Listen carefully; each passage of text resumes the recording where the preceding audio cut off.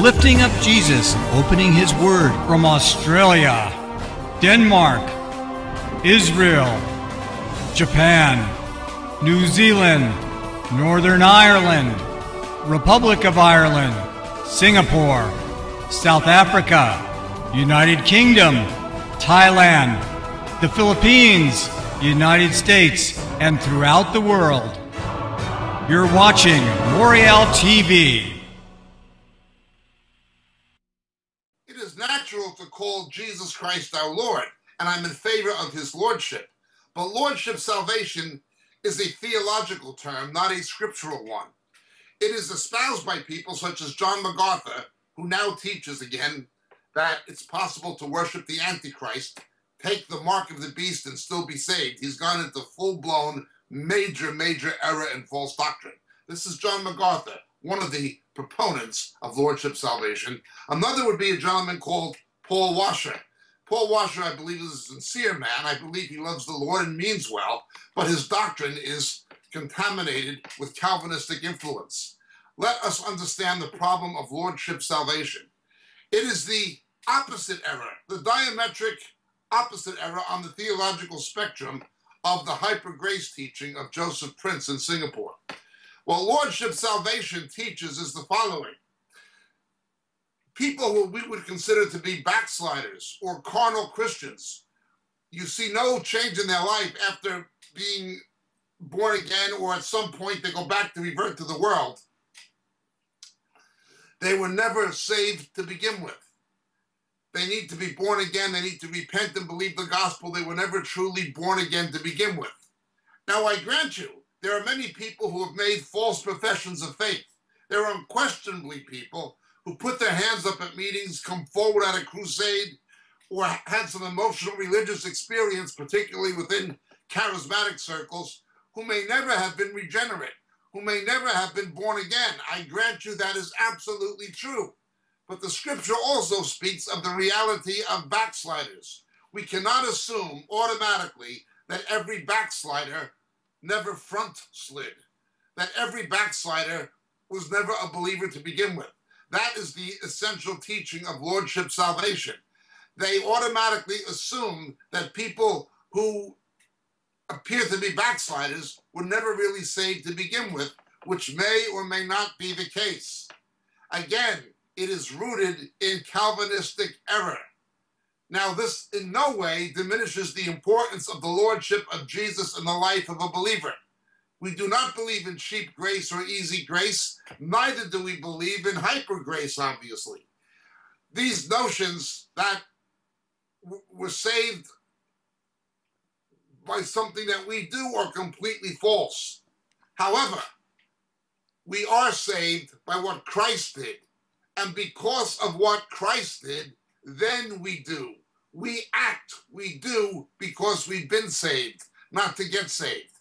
Now, if somebody does not act, does not live a moral life empowered by the Holy Spirit, if someone is not bearing the fruit of the Spirit, if someone is not witnessing, not in fellowship, not reading the scriptures and praying, if someone is not actively following Christ on a day to day basis, it may be the case they were never saved. He was not their Savior because he was never their Lord. But it is also possible that someone was saved and fell away and they need to repent in order to have the assurance of salvation. Essentially, Lordship salvation denies the existence of backsliders for one reason, for a Calvinistic reason, while the hyper grace errors on the other extreme, they also believe in a kind of once saved, always saved that amounts to licentiousness, lasciviousness. It perverts the grace of God into a license to continue to live immorally. While the scripture teaches the grace of God was given to lead us to repentance. Both of these extremes are wrong.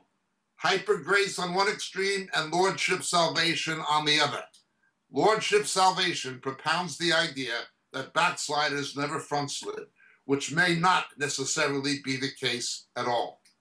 Now, there is a debate even within the Calvinistic camp itself, more or less. Many mainstream evangelicals are at odds with Lordship salvation because they feel it somehow impinges on we're saved by grace through faith, period, that it implies a works. Uh, that is their problem. That is their dispute. Scripture teaches we do the works because we've been saved, not to get saved. But if somebody does not have the works or does not have the moral life, there is a question whether or not they were ever saved to begin with. That is true. But if somebody professes Jesus as Savior, but he's not their Lord, you have to ask the question was this person ever born again?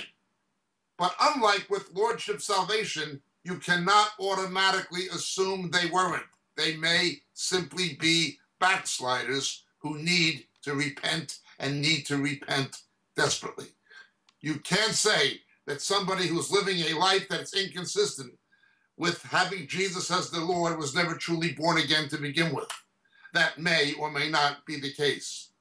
Once again, hyper grace is an error of one extreme, producing one false theology, but that same false theology is ironically produced by the, by the error of the opposite extreme, that is the lordship salvation of John MacArthur and other such people.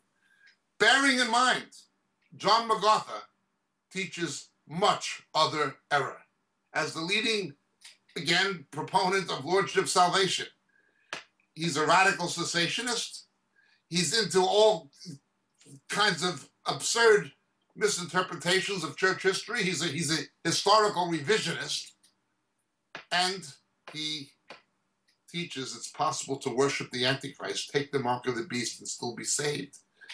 John MacArthur is not a source of good doctrine for anybody anymore.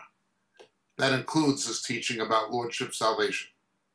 We do not do anything other than affirm the need for the lordship of Christ in our lives. If somebody has Jesus as Savior, they will also have him as Lord. But lordship salvation is something beyond what the scripture teaches. My name is Jacob Prasch. Thank you for your question. God bless.